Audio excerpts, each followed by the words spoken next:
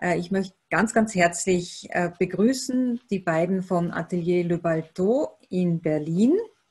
Guten Abend, Marc. Und äh, die beiden sind schon sehr lang in dieser, in dem, im Garten tätig, sage ich jetzt einmal, und sehr aktiv. Sie sind beide in Frankreich beruflich sozialisiert und nach Berlin gegangen. Sie haben äh, über mehrere verschiedene Dinge ähm, dort auch dann letztlich in Versailles äh, École de Paysage Landschaftsarchitektur studiert.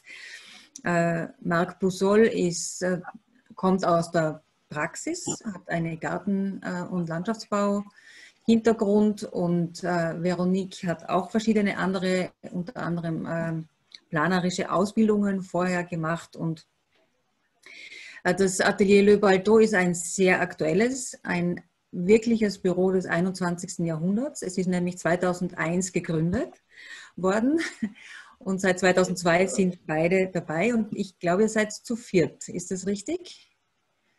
Vier Personen. Also ihr beide äh, habt die äh, die, die, die, Gründung und die Leitung übernommen und die anderen habt ihr ja zumindest auf eurer Homepage als Mitstreiter bezeichnet. Äh, Vorhaben, glaube ich, sehr interessant sein kann und ist, weil euer Vorhaben eines ist, das habt ihr 2006 schon so bezeichnet, die Gartenkunst anders zu interpretieren, als es die Kunstgeschichte macht die Gartenkunst an ihre Grenzen zu bringen oder, zu, oder diese sogar zu überschreiten. Und äh, die, ein Mittel zum Zweck ist der Einsatz Pflanzen. Es geht aber nicht nur um die Pflanzen, sondern natürlich auch um räumliche Interpretationen. Aber die Pflanzen und dieser Schwerpunkt, der hat euch jetzt äh, für uns in äh, ja, äh, für sehr, sehr geeignet erscheinen lassen, weil wir die Landschaftsarchitektur auch weiterbringen wollen und unter anderem dann mit diesen Jahresthemen Schwerpunkte setzen. Äh, die Arbeiten und Leistungen sind wahrscheinlich vielen bekannt, die von Le Balteau inzwischen sich schon Beispiele aus äh, realisierten Gärten im weitesten Sinne, durchaus auch öffentliche Freiräume, die dabei sind, äh, private Gärten, künstlerische Gestaltungen. Äh, das Büro hat sehr viele Preise gewonnen, ganz aktuell die Nominierung zum Bundespreis Stadtgrün zum Beispiel im Jahr 2020, auch viele Wettbewerbe erfolgreich geschlagen und ist in ganz Europa tätig, von äh, Madrid, wo ich das Glück hatte, auch ein Projekt zu sehen, nämlich bei Matadero. Äh, und äh, bis nach Göteborg beispielsweise, wo die Jubiläumsparken, also der Park, ich glaube, sich im Moment in Realisierung befindet. Ähm, was bedeutsam ist, ist nicht nur der gekonnte Einsatz von Pflanzen, sondern die Verbindung von Interaktion mit den Personen, die den Garten dann auch verwenden, äh, mit Personen, die vielleicht auch sich nur für das Thema interessieren äh, und mit dem Ort und dem Raum und den in eine poetische neue Gestalt zu bringen. Das ist ein äh, Unikum und darauf freue ich mich jetzt sehr, mehr zu erfahren, was in den letzten 16, 15 Jahren äh, da von euch weiter passiert ist. Herzlich willkommen. Vielen Dank, vielen Dank, Elika, für diese Einführung. Vielen Dank auch für die Anladung, dann nicht nur an der BOKU, sondern auch an den Berufsverband. Es ist auch sehr schön, dass die zwei zusammenarbeiten. Ähm, wir haben uns, äh, unser Titel, glaube ich, ist von den äh, ersten zu den jüngsten Garten. Äh, wobei der Begriff Garten stimmt auch äh, im Sinn von Park oder wir werden von, also schon der Maßstab des Parks äh, mittlerweile zeigen können. Und wir haben uns überlegt, so einen Spaziergang zu machen. Äh, wir fangen mit dem Ort, wo wir auch unser Büro haben in Berlin. Äh, und dann mit dem ersten Garten, äh, den wir gebaut haben. Das ist eben dieser Hof von Jardin Sauvage in, für den Palais de Tokio in Paris, die uns immer weit und deswegen zeigen wir den auch gern und Sie werden sehen äh, durch diesen Spaziergang, wie auf, auf welche Weise diese zwei Gärten uns immer wieder in unserer Arbeit. Und äh, der letzte ist eben der Jubiläumspark von äh, Göteborg, wobei äh, der ist gerade im Bau und äh, wir arbeiten an der Planung seit zwei Jahren.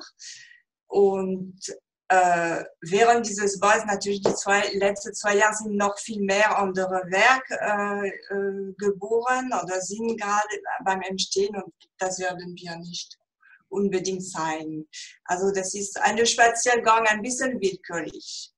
Ich äh, werde, wir werden unsere Bildschirm teilen. Ich glaube, das ist möglich. Mhm.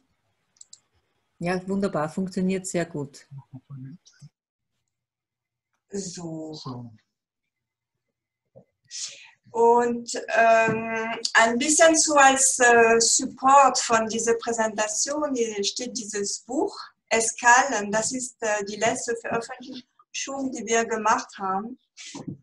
Auf Französisch, aber ich bin sicher, es gibt so bei den Teilnehmern heute haben sehr viele, die auch Franco gibt es sehr viele Bilder. Also der ist immer noch zu zu erwerben bei Buchladen.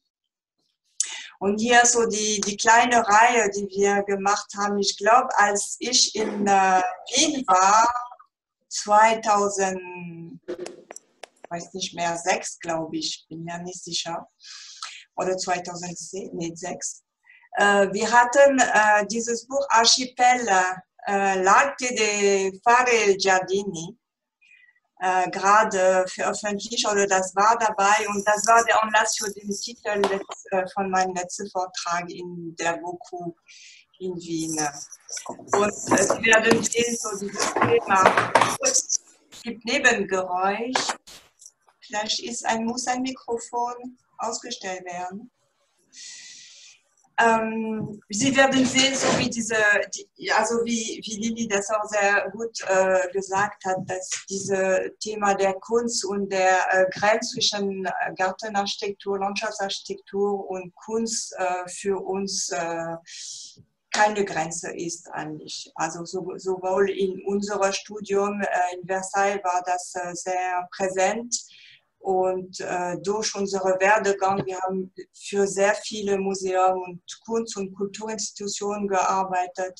Und das bringt uns immer wieder in äh, Beziehung zu, äh, zu dem Thema, also der Bildauer oder äh, der räumlichen Auseinandersetzung von Künstlern. Das werden Sie sehen. Ähm, der, das Buch Travers äh, haben wir äh, gemacht anhand von fünf Projekten, die präsentiert sind. Äh, und dazwischen sind die Themen, die für uns wichtig sind. Und deswegen diese Zeichnung von Kompostierung, äh, die sich so von seit 2001 äh, alle Projekte irgendwie sich überlappen und äh, bringen uns immer wieder zu den anderen, zu den neuen Ideen wie ein Kompost, wie man Erde herstellt mit dem alten inneren Raum dieses Buch. Gibt es so zwei Seiten, die man ausklappt und da sind alle Gärten von dem erst hier, das war sogar vor dem äh, Kunstwerkgarten, das war Thema temporäre Gärten, äh, viel mehr zu tun als ich. Äh, damals gab es diesen Begriff, temporäre Gärten wurde da erfunden 2000. Äh, 2000 1997, so alt ist das, oder sind wir? Und äh, der letzte Mark, kann ich das nicht erkennen. Das war in Bobur, aber das ist schon alt. Ah ja, das ist auch schon alt, also mittlerweile gibt es noch mehr. Aber diese ähm, kleine Piktogramme zeigen, so schwarz-weiß, was für uns sehr wichtig ist oder immer wieder präsent, äh, ist der Verhältnis von dem Raum für den Menschen und den Raum für die Pflanzen. Und äh, hier in diese Zeichnungen weiß ist der Raum für, für Mensch, wo der Mensch sich bewegt. Und das Schwarz ist äh, die Vegetation. Und man sieht so, dass die Verhältnis ist äh, immer also spannend im, im Sinn von ein, eine, eine Spannung zwischen beiden. Uns wichtig ist, ähm, wie die Menschen so, also so nah wie möglich an der Vegetation kommt, dass man einen anderen Bezug an der Vegetation bekommt. Und äh, jetzt so äh, grob dargestellt, der erste auch der Ort, wo unser Büro ist seit 2001 und auch der Ort der Experimentierung. Äh, das zweite Bild ist der äh, nackte Boden des äh, Jardin Sauvage, der noch nicht da war, 2001 auch. Und das jüngste Park, da kann man wirklich von Park sprechen, das ist der Jubiläumspark für die Stadt Göteborg in Schweden die wir ausführlicher heute Abend euch präsentieren werden. Also dieses Jardin d'Essai, äh, das ist ein Begriff, der von Jean-Claude äh, Nicolas Forestier kommt. Vielleicht hat einige Teilnehmer kennen diesen Namen, ein wichtiger Landschaftsarchitekt für äh, Franzosen, weil das war ein der modernen Landschaftsarchitekten, der auch die äh, geholfen hat, die, der Begriff der Garten- und Landschaftsarchitektur zu definieren in den äh, also 40er bis 60er Jahren. Ähm, und Jardin d'Essai, Essai heißt ausprobieren. Und dieser Ort, der Hof von Kunstwerk in Berlin, ein Ort für zeitgenössische Kunst, ist zum Glück für uns ein Ort geworden seit der ersten Biennale, äh, Berlin Biennale, Biennale für zeitgenössische Kunst, ähm, wo wir gefragt wurden, um den Hof als Garten zu umwandeln. Das war so der Wunsch von Klaus Wiesenbach damals und Anselm Franke. Die Idee, dass man diese steinige Hof, typisch steinige Hof von Berlin als äh, grüne Insel in Berlin-Mitte. Da war ich nicht wirklich dabei, aber das hat Marc entwickelt äh, in Bezug zu der, oder im Rahmen mehr oder weniger der, das ist ein Stück der Buga, damals war die Buga in Potsdam, nicht direkt in Berlin. Aber die Idee äh, war mit verschiedenen Garten, äh, Baumschulen und Gärtnerei von Berlin zu fragen, für die Zeit der Berlin Biennale Bäume auszuleihen. Äh, und dass wir damit so diese temporäre Garten, das war, das war für zwei Uhr vorgesehen. Letztendlich ist dieser Garten von Frühling bis zum Herbst geblieben. Und als wir den Garten abgebaut haben, da war ich wirklich dabei, dann waren alle so traurig im Haus, dass sie ein paar Monate später im Winter, Dezember, äh, Januar gefragt haben, aber könnt ihr nicht nächste Frühling wieder? Man darf in diesem Hof kein richtiger äh, dauerhafte Garten bauen, weil das ein denkmalgeschützter Hof. Die Steine, die die Pflaster sind denkmalgeschützt und wir dürfen nicht tief reingehen. Aber man, ähm, durch diesen Trick, äh, der Begriff temporärer Garten, äh, dürften wir, hier sieht man äh, drei Prinzipien von Durchquerung des Hofes. Ähm, und wir haben sieben oder acht verschiedene Gärten in den gleichen Hof gebaut wieder abgebaut und wieder gebaut. Das ist ein der berühmtesten, so die älteren Teilnehmer heute haben vielleicht haben diese Garten gesehen, 2003. Okay, das war nicht der erste, das war der dritte. mit äh, Hopfen, japanischer Hopfen. Das ist eine, nicht der Hopfen, äh, der äh, sich immer weiterentwickelt über die Jahre, sondern ein einjähriger Pflanz, die sehr äh, viel stärker duftet als äh, den Hopfen, den wir kennen.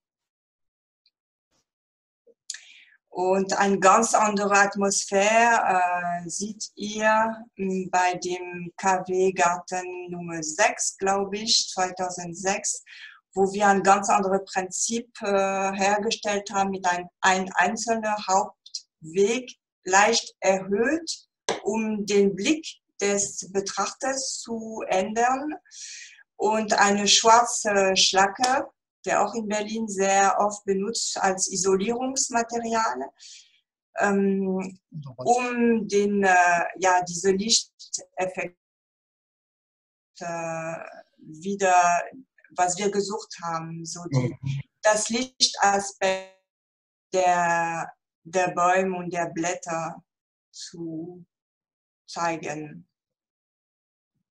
Und äh, das dritte grobe Prinzip, die wir für diese Garten benutzt haben, ist eine Methode, die wir 2010 für die, 10, die, die 9. Berlin Biennale entwickelt haben. Wir haben vier große Inseln gebaut mit sehr einfachen Mitteln. Eine Stakettezaun, die eigentlich so auf die große Wiese benutzt ist, um äh, die Schaf zu äh, begrenzen. Hier begrenzen sie die Vegetation. Das ist immer, also diese temporäre Töpfe. Man sieht die Töpfe nicht. Und äh, hier sind vier große Inseln, die den äh, Zugang äh, zum Kunstwerk nicht versperren, aber so ein bisschen durch auf dem Weg ähm, gebracht sind. Und ein Jahr später, nach der Biennale, wir haben einfach diese Insel auseinandergestellt und wieder organisiert.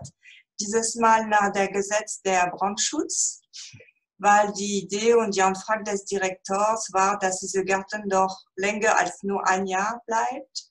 Und äh, er entwickelt sich jetzt auch seit vier Jahren. Das ist für uns sehr schön, sehr angenehm, weil wir können die Pflanze täglich sozusagen äh, versorgen, besorgen und ähm, beobachten. Äh, ja, genau, da wo das kleines, äh, kleine Hand ist, sieht man eine Fikus und wir haben Feigen den ganzen Sommer. Noch letzte Woche könnte ich eine Feige essen. In Berlin kann man heute Feige essen. Sehr viele Himbeer. Das ist das Thema der Gepflügt, also der Pflückgarten äh, der essbare Stadt die auch diese gleiche Preis gewonnen hat äh, in Westdeutschland thematisiert. So, der, der zweite erste Garten war der Jardin Sauvage für den Palais de Tokio und da gebe ich den Wort an Marc, äh, der diese Garten nicht nur gebaut hat, so wie ich, sondern auch gezeichnet und gepflegt. Genau, es fängt immer noch mit diesem äh, Picto, wovon Veronique redet. Und hier sieht man fast in drei Dimensionen oder mit der Zeit vielleicht vier Dimensionen äh, dieser Entwurf. Die Idee war ein ganz schmaler Weg, Passage für den Menschen zu machen und den in dieses Nicht-Ort einzuladen. Das war eine ganz tolle Chance, die Architekten, mittlerweile sehr berühmt, Lacaton Vassal, wurden beauftragt, ähm, dieses Haus, der für die Expo 1936, glaube ich, ähm, gebaut wurde, umzuwandeln in ein großes zeitgenössisches äh, Museum für, für Kunst. Und die haben diese zwei Passerelle oder Fußgängerbrücke gebaut über dieses Loch dieses Loch, so in die große Stadtfuge, war eigentlich konzipiert von dem Ursprung, dass das Haus nicht direkt an den äh, Paris, das ist an der Szene, ähm, dass man den schnell bauen kann und auch günstiger, ohne die, die, die Kräfte äh, dieser Hang ähm, zu kontrabalancieren. Die haben einfach so einen Abstand Und dieser Abstand war von dem Publikum sehr raffiniert gemacht. Man sieht auch auf der Fassade, dass der Marmor eigentlich nur in dem dritten Stock oder zweiten Stock anfängt und unten ist dieser Ziegelstein und die ganze Technik dieses Haus. Und als Lacaton Vassal diese Brücke gebaut haben, dann haben die beide äh, Kommissär, Direkteur, Jérôme Sens und Nicolas Bourriot, dann dieses Problem festgestellt, was machen wir da unten? Die Anne Lacaton hat gesagt, das ist zu dunkel, da kann kein Gärten wachsen, wir sollen vielleicht Künstler da einladen. Und ich habe nochmal zurück zu dem Kunstwerk den riesigen Glück, ich war gerade bei dem Aufbau des ersten Garten, da sind die zwei Direktoren auf für deren Museum in Paris nach Berlin gekommen, sich rumzugucken. Und da wir gerade am Gärtner waren, haben die uns gefragt, ob wir da auch in Paris kommen können und da auch einen Garten zu zaubern. Und haben dann auch gefragt, was kostet so ein Garten von Mathieu Lebalto. Ich hatte natürlich überhaupt keine Ahnung und habe gesagt, ein Mercedes, ein schönes Mercedes, auch den Auftrag bekommen. Nach ein paar Schwierigkeiten, die aber haben wir jetzt heute nicht zu erklären. Das Resultat ist das Wichtigste. Wir haben eigentlich, das war sehr interessant, nur mit zwei Skizzen die beiden Direktoren überzeugt, ähm, dass man eigentlich in dieses Loch reingeht, dass die Pflanzen dieser Volumen fühlen wird.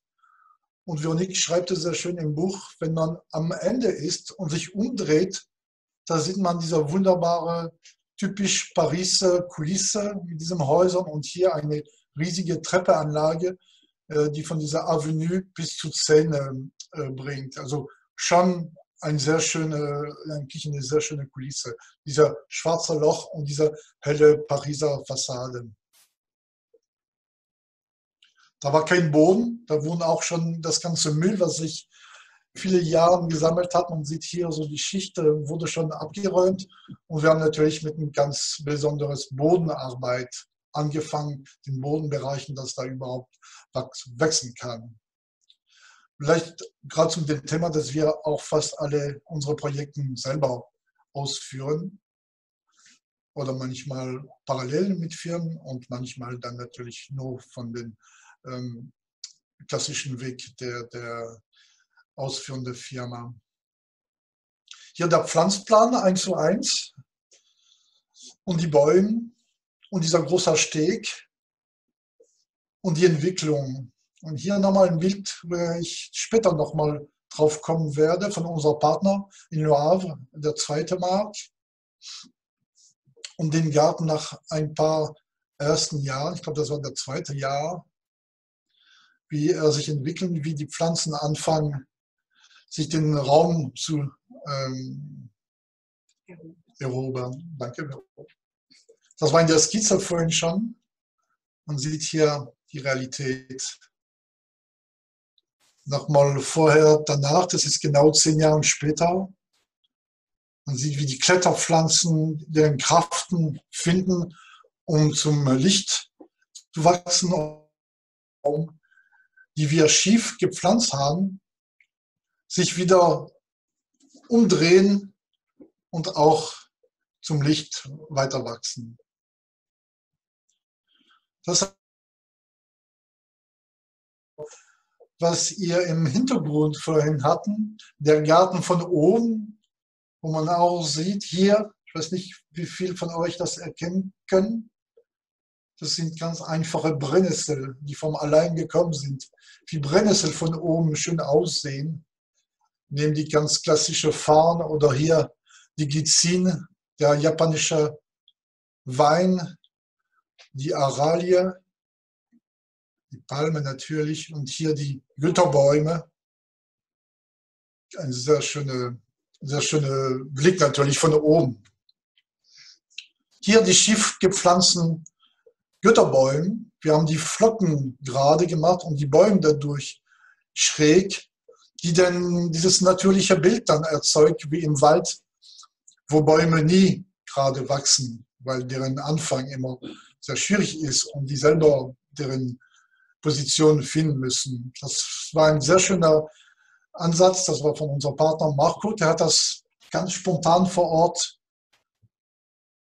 Man kann zehn Jahre später das Ergebnis sehen. Das ist sehr viel Inspiration für unsere weiteren Werken.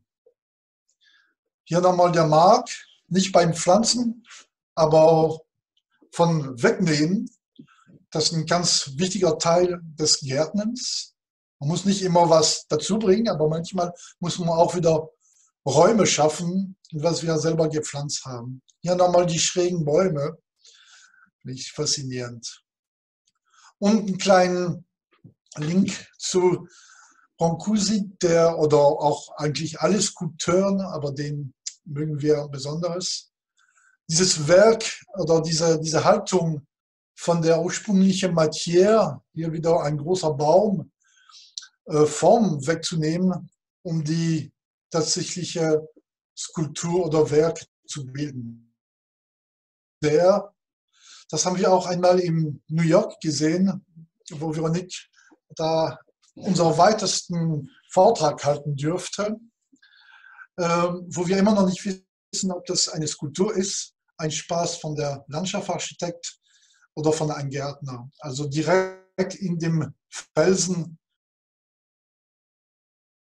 dann noch nicht dienmäßig äh, fließt oder wie die Blätter sich da auch sagen.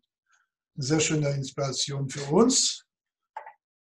In eher harte Kontext, das war ein Franken in Süddeutschland, wo wir die Asphaltdecke nicht weggenommen haben, aber weil die auch sehr, sehr schönes Zustand waren, wo wir die nur geschnitten haben, um ein, und dann natürlich den Unterbau noch weggenommen haben, und äh, um einen Boden äh, neu zu stellen und dadurch einen ganz ungewöhnlichen Garten zu bilden.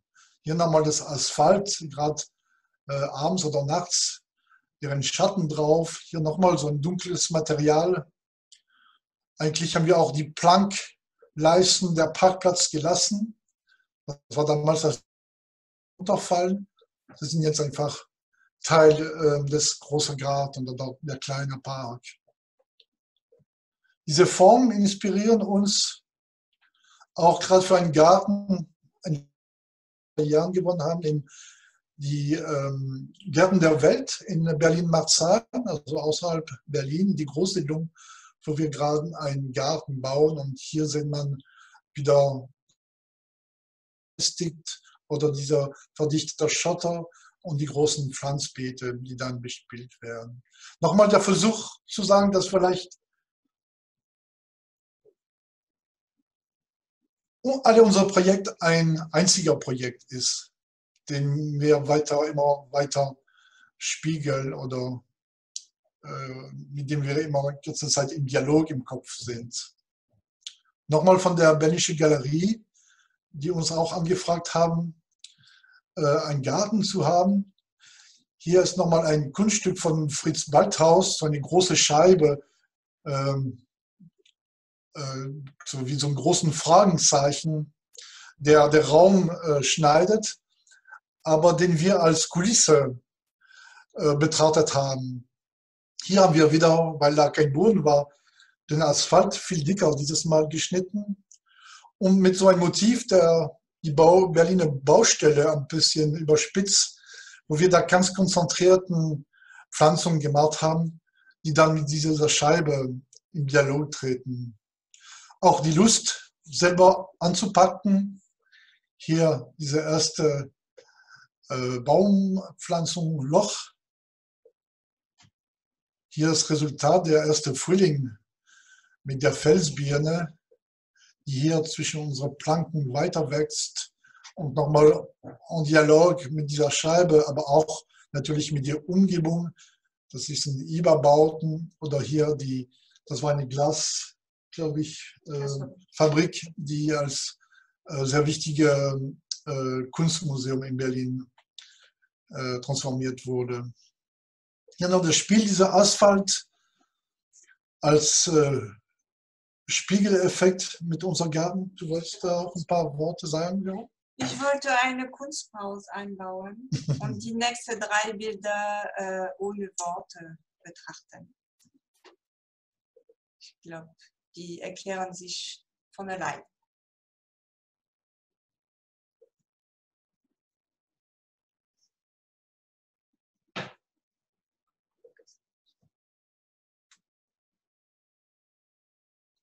Das ist jetzt weiter Überarbeitung dieser Idee, in dem Asphalt einzugreifen. Das ist jetzt gerade in Hamburg ein Projekt. Auch ein Hof oder Parkplatz.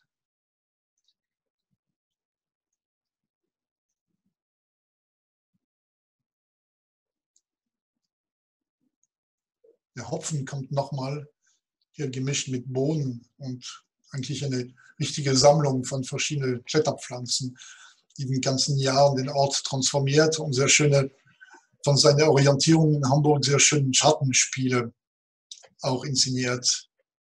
Also diese ganzen Subjektivität eines Projekts, was man auf einen Plan oder bei der Ausführung oder bei dem Leistungsverzeichnis gar nicht bestellen kann. Äh, Schatten, ein sehr schön deutscher Wort, Windschatten, gibt es auf Französisch nicht. Auf Französisch ist es abri du vent, vom, vom Wind geschützt. Ähm, Windschatten ist sehr schön. Also die ganzen Sachen, die eigentlich einen Garten machen, die verschiedenen Lichtverhältnisse und die Umgebung natürlich. Nochmal das Wegnehmen, hier Marc und Veronique, volle Begeisterung in Aachen, auch ein Park für ein Kunstmuseum, wo wir da auch Platz, Platz schaffen, Platz schaffen, pardon. Und vielleicht noch ein, ein Begriff oder, oder eine Attitüde von uns, dass wir auch mit dem Wegnehmen auch Recycling und mit dem Schnittgut ganz oft direkt vor Ort eins zu eins neue Formen bilden, wo die Menschen nicht mehr drauf laufen möchte, wollen und eher die Tiere sich ansammeln oder die jungen Vegetationen in Ruhe anfangen, durch diese Beete zu wachsen und eigentlich eine neue Strat in dem, in dem Park bilden können. Hier nochmal eine ganz unmotivierte Ecke des Parks. Das gibt es in sehr vielen Parks, wo der Gärtner gar nicht weiß oder nicht mehr weiß, wo er aufhören soll und so ganz komische Formen entstehen, die nicht mehr lesbar sind. Und wir versuchen, versuchen die gerade mit dem Schnittgut, die wieder lesbar zu machen und dass sie sich auch wieder natürlich ähm, befühlen. Das ist gerade in dem Brücke-Museum in Berlin im äh, Grüne Wald, wo wir das auch äh, geschafft haben.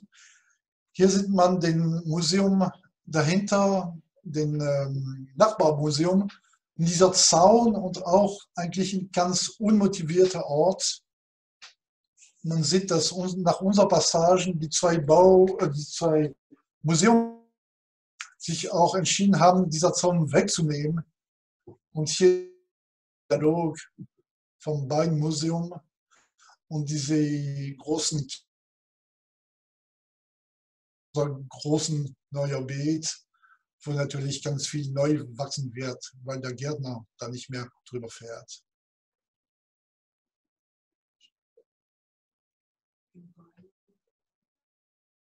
Das ist ein Thema, dass man manchmal die Bäume zu nah zueinander pflanzen es wird uns oft verworfen. Dann zeigen wir oft solche Bilder, Spaziergang in Wälder, wo hier eine Kiefer und eine Buche ihren ganzen Leben oder hier, wie wir auch mit dem Wegnehmen von Vegetation Räume schaffen, Wege, Lichtverhältnis, Schatten und Licht. Hier so ein kleiner Haarhorn Population von verschiedenen äh, Jahren, also ganz jung und älteren. Hier Veronique beim Aufräumen.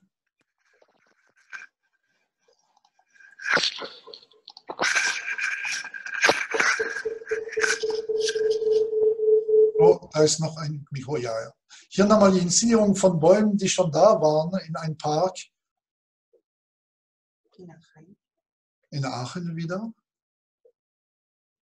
Also das Arbeiten mit dem Bestand, mit dem Lebendig, wo unsere Pflanzung sich sogar von hier, von dem Rahmen wieder befreit. Ein toter großer eine große tote Weide, die wir auch gefällt haben und nicht gleich weggeschnitten haben, aber weiter inszeniert in dem Park, inspiriert von den sehr berühmten äh, Penonen, wobei das hier ein Guss ist und wir mit dem sogar dem natürlichen Baum da weiterarbeiten, um auch vielleicht diese Bilder vom Gärten oder vom Park leicht zu ändern. Das sieht man eigentlich nie in einem öffentlichen Park. Hier in eine berlinische ähm, Brache, wir nur die Götterbäume bis auf zwei Meter geschnitten haben, dass man drunter einen schönen Raum hat. Und sehr schöne Lichtverhältnis. Jetzt gebe ich für den letzten Projekt wieder den Wort an Veronique. Äh, ich werde es nicht Bild pro Bild erklären, sondern als Marc gesprochen hat, äh, habe ich notiert vier Punkte, die äh, uns, äh, glaube ich, wichtig äh, sind bei allen Projekten, die wir gemacht haben, ob das ein klein, kleinerer Garten ist, ein älterer Garten ist von 2001 oder 2020, äh, immer noch wichtig sind. Ähm, der erste, also ich, wir blättern durch die Bilder in der, in der Zeit. Ich sage nur ganz kurz, das geht um diesen Jubiläumspark in Göteborg, der in der ehemaligen Industrie, der Hafen von Göteborg, der ehemalige Hafen ist im Zentrum der Stadt Göteborg hat sich natürlich überlegt, daraus ein, ein neues Wohnviertel zu etablieren war, auch mit dem Park anzufangen. Ähm, und diese vier Punkt ist, äh, Sie werden sehen durch diese Bilder auch, dass äh, wir öfter mehr wegnehmen, als was wir addieren. Also was auch Marc jetzt äh, deutlich gemacht hat, ausschneiden, wegnehmen, um den Raum, das Licht äh, wieder äh, in Vordergrund zu stellen. Der zweite wäre mit dem Vorhandenen zu arbeiten, da in der Stadt Göteborg, äh, das war diese riesige Asphaltfläche, aber auch die Pioniervegetation, die seit zehn Jahren sich entwickelt hatte, besonders an der Böschung entlang des Wassers, der Wasserbecken. Und das Vorhandene ist da natürlich der Boden, also Asphalt in dem Fall, die Vegetation, aber es ist auch die Blickebeziehung, die schon vorhanden sind, äh, das Licht, die Lichtverhältnis in Göteborg, in Schweden, das ist sehr besonderes. Ja, der Himmel, wir haben gesehen von dieser Zeichnung von Neil, ähm, die Pastellarbeit, äh, das war, um für uns klar zu, äh, zu machen, was ist diese besondere Licht in Schweden zwischen äh, 11 Uhr und 15 Uhr, manchmal sehr lang, aber auf jeden Fall immer sehr stark und so stark wie der Wind. Und auch die Farbe, die besondere Farbe von einem Ort. Also man spricht von Genius, äh, Genius Loci. Äh, das äh, beinhaltet vielleicht alle diese vier oder fünf Punkte. Boden, Vegetation, Blick, Licht und Farben von einem Ort. Das dritte ist, wir haben es nicht heute nicht sehr äh, stark darüber gesprochen, ist die Partizipation, wie wir die Orte, die Park und die Gärten für die Menschen machen, für die Pflanzen, die Vegetation, aber auch für die Menschen, wie die Menschen nicht nur äh, ankommen, wann der Park fertig ist, sondern äh, während des Bauens. Äh, und ich glaube, da. Ja, aber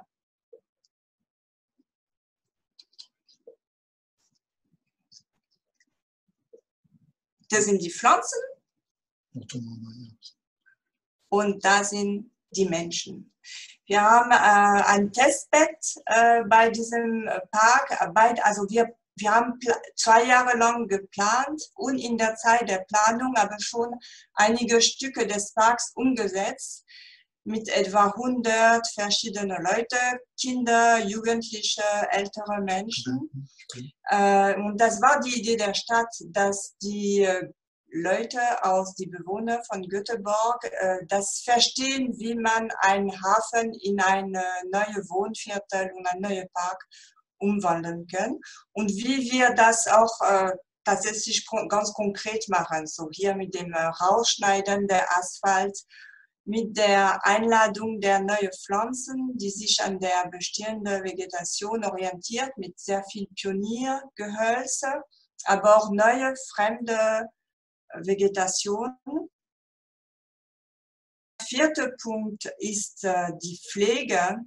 Wir haben seit 20 Jahren gelernt, oder wir wussten das schon bei den Palais de Tokyo der Jardin Sauvage, haben wir selbst äh, zehn Jahre lang gepflegt, weil äh, ein Park, wenn er fertig gebaut ist, fängt nur an zu leben und ohne Begleitung der Entwicklung der Vegetation mhm. verliert man, äh, denken wir, mehr als 50 Prozent der Arbeit der Landschaftsarchitekt. Äh, das ist die Möglichkeit und wir hoffen, dass das in Göteborg äh, auch der, äh, die Möglichkeit, dass wir die Möglichkeit haben werden, der Park weiter zu begleiten über drei, vier, mindestens über die drei, vier erste Jahre, bis wann wir verstehen, wie die Dynamik selbst der Vegetation ist und dass man das im Sinn der Vegetation, der da dort ist, der auf diese Wind reagiert oder auf die die Densität äh, der, des Publikums auch reagiert. Wir haben eine Auswahl der Vegetation gemacht, der auch sehr stark, also der sehr viele große Dichte der Stadt äh, ertragen kann.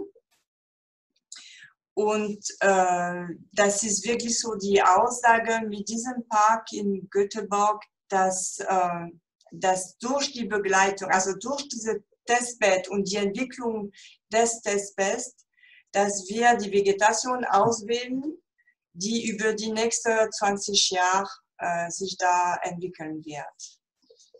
Ich glaube, wir mu müssen langsam zum Schluss ja, ich,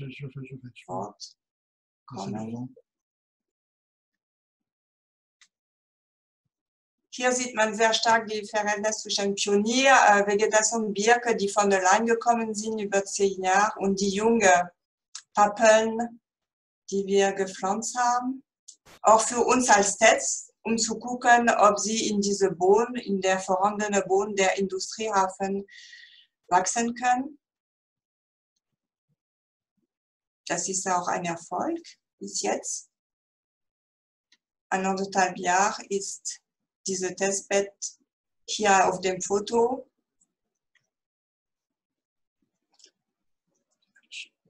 Die Menschen, die ersten Besucher an der Universität.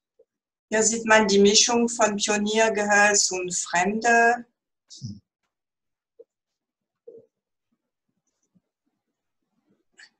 Der Geschenk der Stadt von einem anderen Viertel, große Pinien dort umzupflanzen auch wieder ein Experiment, der sehr gut funktioniert hat.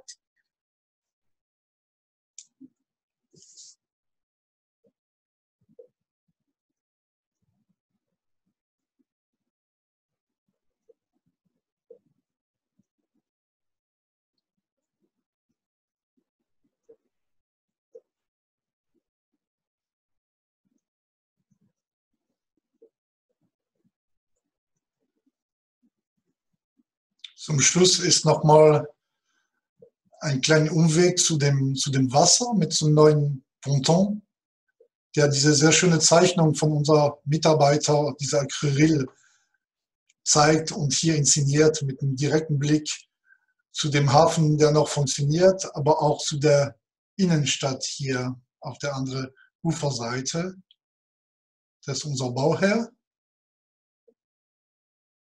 Und das ist das Blick zurück zu einer, wieder eine Skulptur von Architekten aus Berlin, Raumlabor, sicher für euch auch bekannt, die diesem Sauna vor ein paar Jahren gebaut haben und so ein ähm, schwimmende, äh, schwimmende Schwimmbad. Hier die Vegetation, die wir vorgefunden haben. Also ein Schritt weg von dem Park Stehende wieder. hier diese Lichtverhältnis und auch diese von dem Hafen, der auch hier noch funktioniert, dieser Wasserspiegel von der Raumlab und hier ein bisschen auf deren Architektur. Die haben wirklich tatsächlich dieses Parkprojekt und die Stadt, glaube ich, sehr inspiriert, ähm, da den Ort zu transformieren. Und wir haben versucht, jetzt mit unseren ersten Versuchen von Park auf diese sehr starke Architektur ähm, zu reagieren mit unseren Mitteln. Also hier Zittelpappel, Asphalt, Steine und Schatten und Lichtverhältnisse. Ich glaube, das ist das letzte Bild. Oder vielleicht, Veronique, das Schlusswort zu der Pflanzenstrategie. Du hast das, Lili, auch gleich am Anfang erwähnt, dass bei uns Pflanzen dieses lebendig eigentlich auch ein des wichtigste Punkt ist, diese Dynamik, die wir da äh, bringen und die sich dann auch vom allein äh, dann weiterentwickelt. Das ist der Gesamtpark, nur mit ihrem äh, Pflanzenkonzept. Und das letzte Bild ist bald aussehen wird. Man sieht in der Mitte nochmal sehr inszeniert dieser, dieser Sauna und Schwimmbad und ähm, wieder ganz hinten die Silhouette der Stadt und ganz vorn ähm, den Park, der gerade in Entstehung ist. Und hier der kleine Stück, den wir so als Testbett äh, angelegt haben und der immer noch äh, bleiben wird über die Baustelle. Voilà, das ist jetzt wieder die gesamte Truppe von Mathieu Le Balto. Veronique vorne, ich hinter, Marc Vatinel, Bérangère, Ludivine und der Fotograf ist der Nil, der diese wunderschönen Bilder malen kann. Vielen, vielen Dank. Ganz, ganz herzlichen Dank. Jetzt gehört natürlich der Applaus, aber das ist äh, schwierig äh, online. Ich hätte noch länger zuhören können, muss ich sagen. Ich äh, habe inzwischen ein paar Fragen äh, bekommen, die ich gern weiterleiten möchte.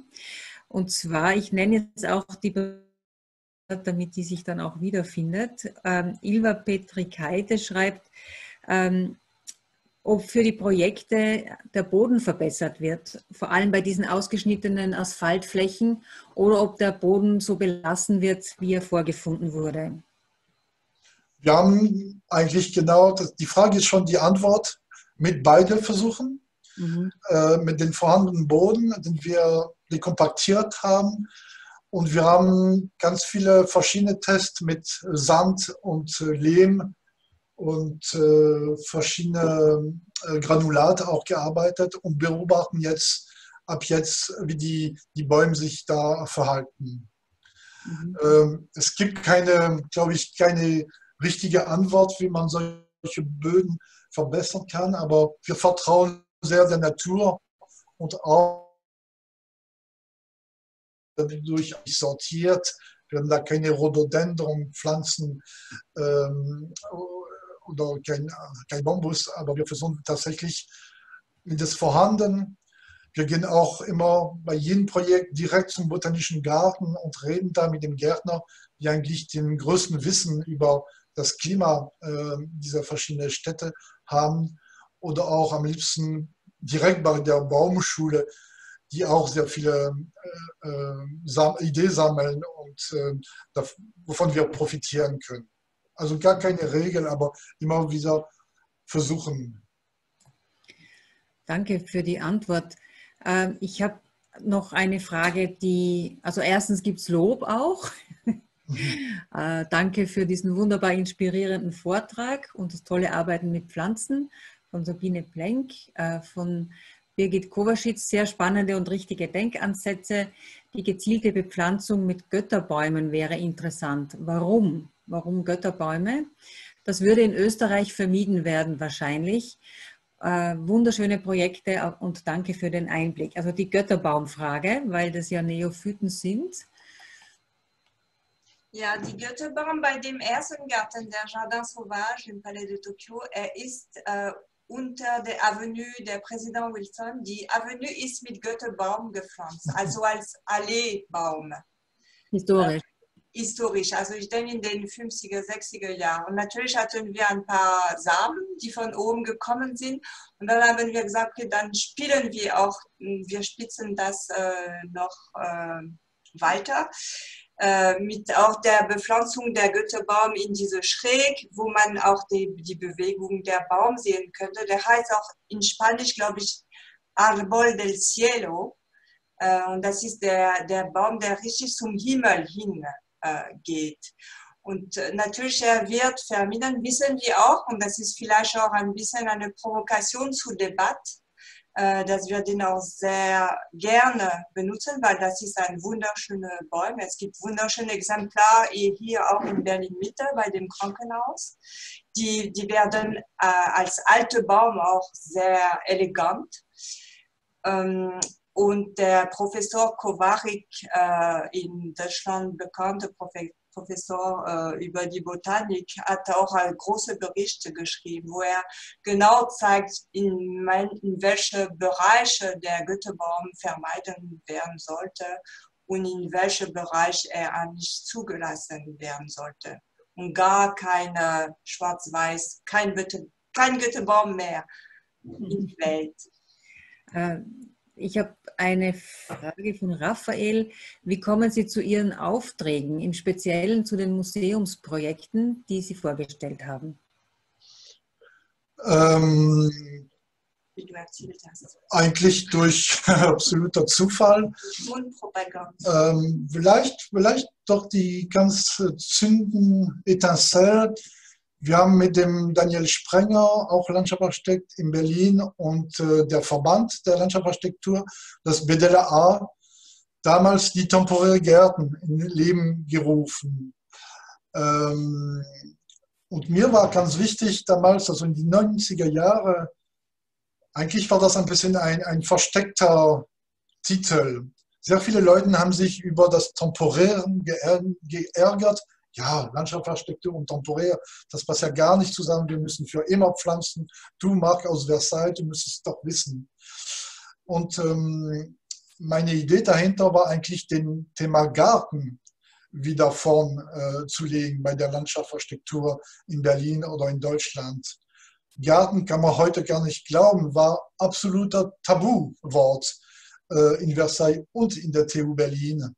Und ich glaube, in München haben wir auch mal kurz mit die Regina ähm, Keller, Keller äh, auch darüber geredet. Das war auch, glaube ich, tabu. Man spricht von Parks und äh, Grand Paysage, große Landschaft. Und bei temporären Gärten habe ich natürlich der Gärten wieder in Fokus gebracht. Und gelungen, ähm, angefangen mit dem Kunstwerke, also ein sehr wichtiger Ort für zeitgenössische Kunst in Berlin, dass sie sich auch für Gärten interessieren und gerne auch als wie die Malerei oder äh, das Tanzen auch als ähm, Kunst ähm, oder Kunstform zu sehen, Disziplin zu sehen. Und dann hatten wir die Chance natürlich, dass gleich nach dem ersten Garten in Berlin wir in Paris eingeladen worden und dann in Madrid, hast du gesagt, äh, Lili, bei Matadero. Und das hat sich eigentlich, das war so ein bisschen Boule de Neige, ähm, dass wir immer gern da eingeladen werden. Es gibt auch immer mehr Museen, die sich für den Freiraum wieder interessiert. Das ist natürlich auch sehr spannend. Wir arbeiten gerade in der Brück, Brücke Museum in, in Berlin. Und, äh, und jetzt noch mehr, also Corona, neue Zeiten, ich hoffe wirklich temporär. Schon sehr interessant, wie äh, der Freiraum auch jetzt neu geschätzt wird, ob das von dem Museum ist, aber auch allgemein in Städten. Danke. Ich habe eine, ich, einige Fragen, die kann man etwas zusammenfassen. Das hätte ich nämlich sowieso noch wissen wollen.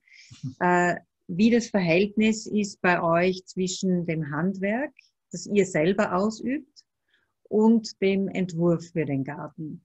Das sind dann noch Fragen, die dazu passen, nämlich die Frage von Marlies Rief, wie viele Projekte könnt ihr selber bauen oder begleiten? Oder ist es bei allen der Fall? Äh, und sie bedankt sich auch für den spannenden Vortrag.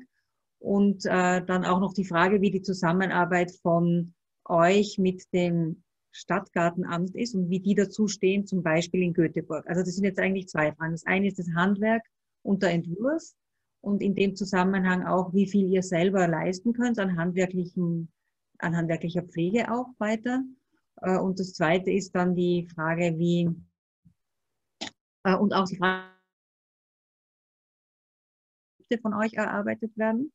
Also das ist so das Handwerkspaket. Und dann die, äh, die Frage, wie das zusammengeht mit dem, Auftraggeber, mit dem Auftraggeber einer Gemeinde wie Göteborg.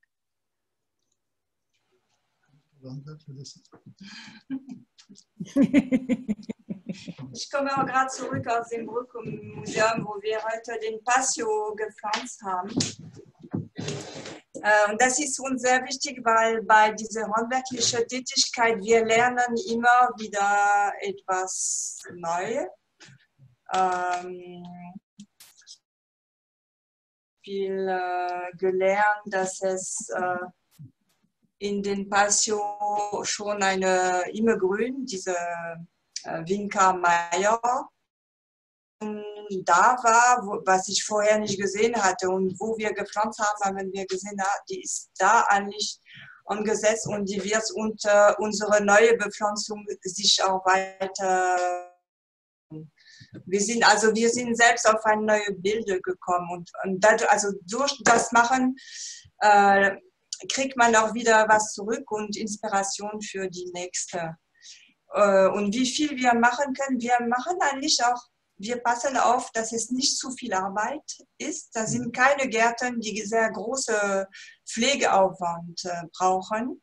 Zum Beispiel der Garten für die Berlinische Galerie, äh, die wir gebaut haben, begleiten wir immer weiter. Natürlich fahren wir da vorbei mit dem Fahrrad und das reicht immer mit den Werkzeug in der Tasche, dass man ein paar Äste rausnimmt, weil die zu viel auf dem Bürgersteig kommen.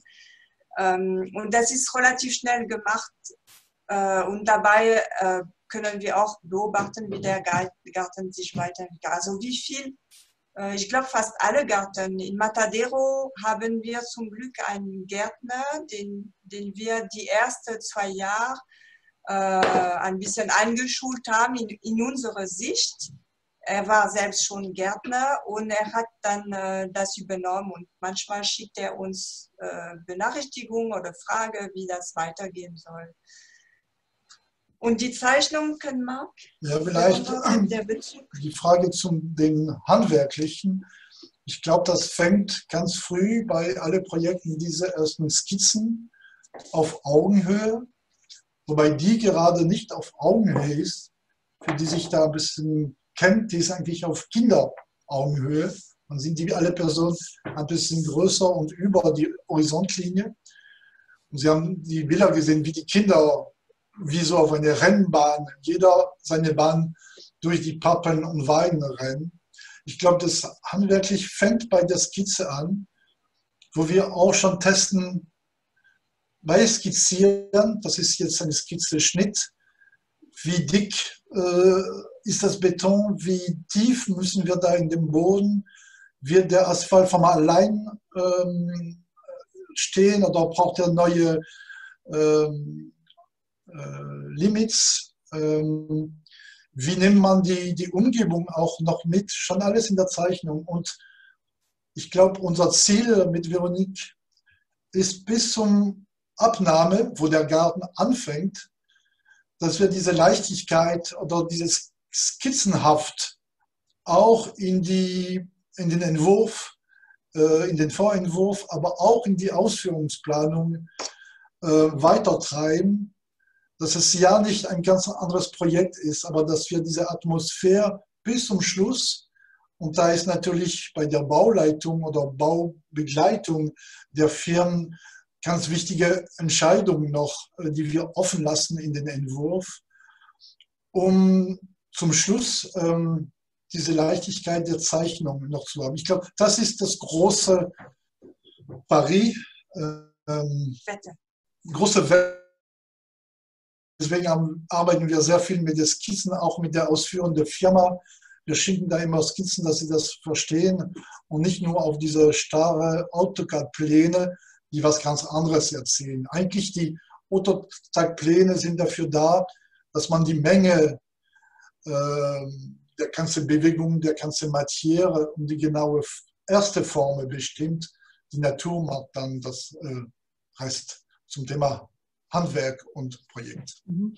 Aber jetzt noch die zwei konkreten Fragen. Macht ihr jemals Pflegeanleitungen oder Konzepte? War eine Frage. Und die zweite, wie, wie kommt es jetzt zum Beispiel beim Gartenamt von Göteborg an? Ja. Also den Gartenamt von Göteborg hat uns, äh, hat mit uns diese Testbeet äh, gebaut. Die große LKW, die man sieht, die große Geräte, sie sind von der Stadt, äh, von den äh, Mitarbeitern der Stadt gefahren und die haben nach unseren Plänen gebaut. Also das war ständig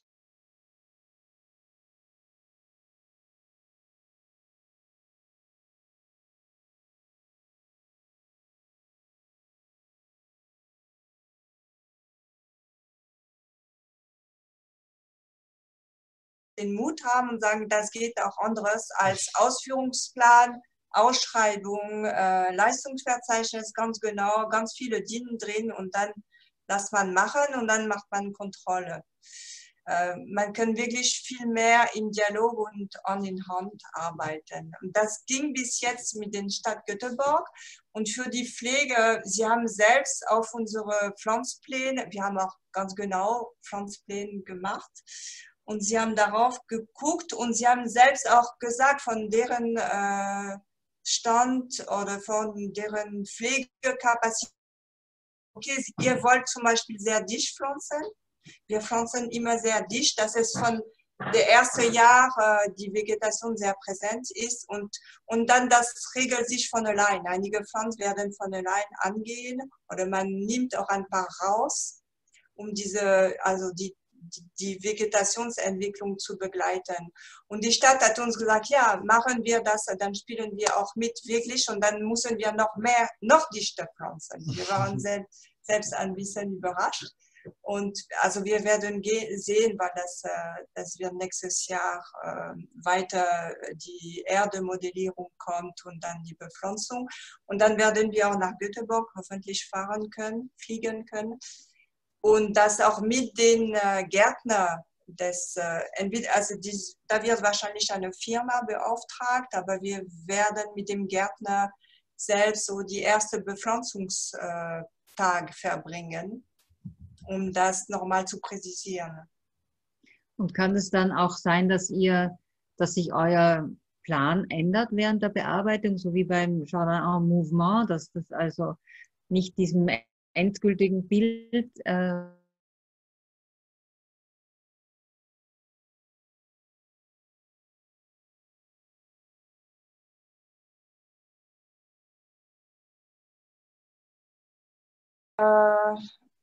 auch selbst entscheiden, welchen Weg er gehen soll. Und wir als Gärtner oder Planer begleiten das und lernen von der Entwicklung.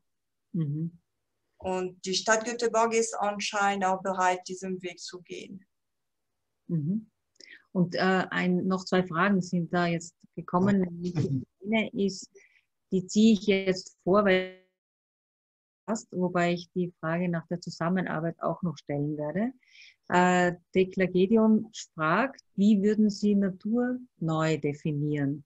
Und würden Sie wichtige Faktoren wie Digitalisierung, permanente Präsenz von Technologie, gerade im städtischen Kontext in ihre Definition und in ihre Entwürfe einfließen lassen. Wie, wie, was ist Natur für euch? Wie definiert ihr das? Und äh, was macht diese andere Technolo Technologie in eurem Arbeitsablauf? Welche andere Technologie? Digital. Die Digitalisierung. Oder Technologie wahrscheinlich auch äh, vielleicht. Oder im Sinn von äh, dieses, alle Einrichtungen der äh, vertikale Gärten zum Beispiel. Also die Definition von Natur äh, haben wir auch nicht darüber gesprochen. Wir haben uns auch nie äh, das gefragt, was ist jetzt meine Definition von Natur. Wir, wir sind Stadtmenschen, wir leben in einer großen Stadt, in Berlin, aus einer kleinen Stadt. Ich, ich habe nie in der wilden Natur äh, gelebt. Ich glaube, ich hatte ein bisschen Angst. Aber wir, wir fördern die, die natürliche Wachstum und vielleicht das Bild, was ich habe von einer wilden Natur. Das heißt nicht umsonst der Jardin Sauvage, also der wilde Garten. Äh, ich habe es auch einmal einem Freund unseres Buch äh, Les Pieds sur Terre gezeigt und er, er hat nur ein Wort gesagt, nur wild. ja. äh, und die, ja, die Technologie ich muss sofort an diese vertikale Garten äh, denken, weil das äh, gerade immer noch, also gerade nicht, aber seit äh, drei, vier Jahren äh, in die Mode ist und sehr faszinierend ist. Und wir kriegen ständig Anfragen von Architekten, ob wir vertikale Begrünung machen können. Und wir bleiben immer noch äh, an den Boden äh, verankert, also wo wir sagen, Versuch an den Fuß des Gebäudes äh, mindestens 60, 80 Zentimeter Boden anzubringen, dass wir Kletter, mit Kletterpflanzen arbeiten können.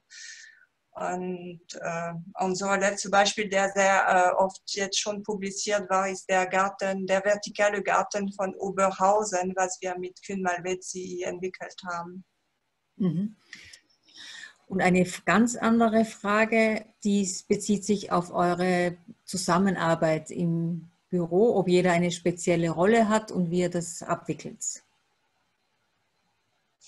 Speziell.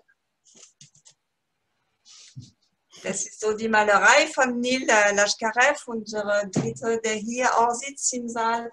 Äh, der macht aber auch eben, äh, also von Anfang an so diese Aufnahme der Licht-Farb-Verhältnis, der uns für den Entwurf inspiriert.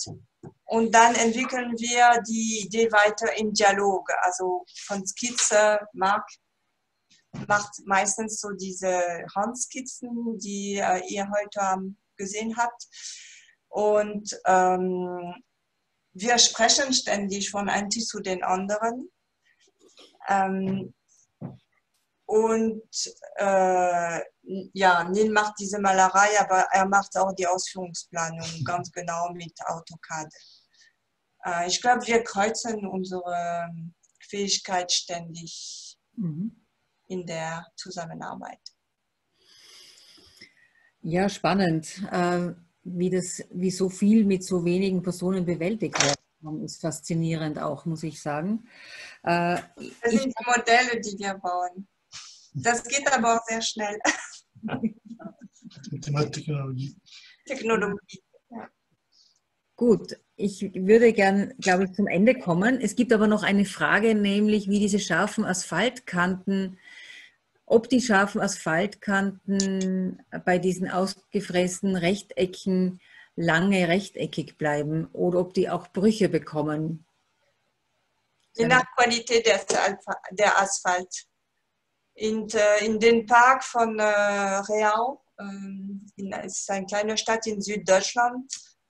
Äh, da, wir, wir testen vorher und da war der Asphalt 12 Zentimeter stark und in dem Fall, das ist klar, dass er bleibt. In den Park äh, in mhm. Hamburg, da wo diese Bambus äh, mit Kletterpflanz, äh, diese Beispiel, da ist der Asphalt ganz, eine ganz dünne Schicht über eine, eine äh, Pflasterbelag. Und da sind weitere Brüche und das werden, also wir haben die konsolidiert. Das war verrückt, weil das ist ein Garten, ein Park, den wir mit äh, ganz vielen Bewohnern entwickeln und es gab so zwei äh, Nachbarn, die gekommen sind und die haben alle jede Ecke befestigt. Das heißt, die Mitwirkung äh, funktioniert auch auf handwerklicher Ebene. Absolut. Mhm. Ja, ich möchte mich ganz, ganz herzlich bedanken, dass ihr euch die Zeit genommen habt. Und es war sehr schön, äh, diese neuen Projekte auch zu sehen von euch. Die Bilder sind auch sehr schön äh, und faszinierend, äh, die ihr zeigen könnt. Und ich wünsche euch äh, weiterhin ganz viel gärtnerische Arbeit, äh, damit wir dann in 10, 20 Jahren wieder was Tolles sehen von euch. Hoffentlich schon früher. Ich möchte nur ganz kurz noch ankündigen für, die, für alle, die noch hier sind, dass ja. wir jetzt am nächsten Donnerstag und den übernächsten Donnerstag auch einen Vortrag haben. Um die gleiche Uhrzeit mit dem gleichen Prozedere, nur nächste Woche mit Matthias Krebs von Krebs und Herde aus äh, der Schweiz und äh, die Woche drauf mit Sven Nürnberger äh, aus äh, Frankfurt. Und damit ist der heutige abgeschlossen. Ganz, ganz schöne Grüße noch nach Berlin und äh, alles Gute weiterhin. Danke. Vielen Dank. Danke. Ciao.